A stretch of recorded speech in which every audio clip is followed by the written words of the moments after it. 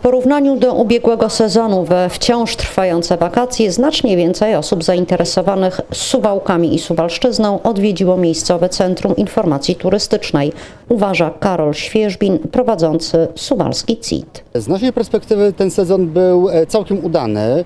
Centrum Informacji Turystycznej do dnia dzisiejszego odwiedziło prawie 25 tysięcy osób w tym roku, także jest to ilość e, większa niż e, w tamtym roku. Stolicę Suwalszczyzny oraz resztę regionu najchętniej wciąż zwiedzają rodacy, ale tegoroczne wakacje przywiodły do nas wyjątkowo dużo gości ze Stanów Zjednoczonych.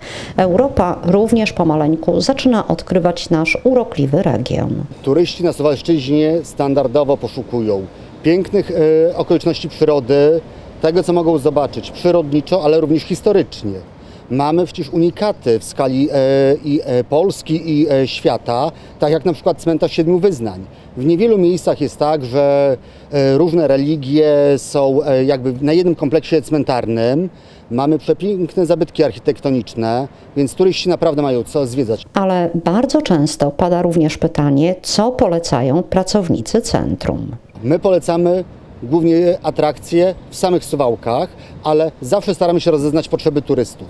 Czyli musimy najpierw poznać, co ten turysta chce zobaczyć, czy jest zainteresowany zwiedzaniem historycznym, czy zwiedzaniem przyrodniczym, czy interesuje go turystyka religijna, czy może militarna i wtedy kierujemy już tego turystę w odpowiednie miejsca. Jest w czym wybierać u nas.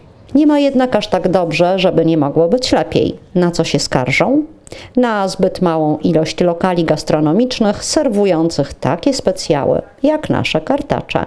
Ostatnio pojawiają się w ofercie nieco częściej, mówi Karol Świeżbin, ale to chyba wciąż zbyt mało. Prowadzący suwalski CIT ma również własne spostrzeżenie dotyczące minionego sezonu.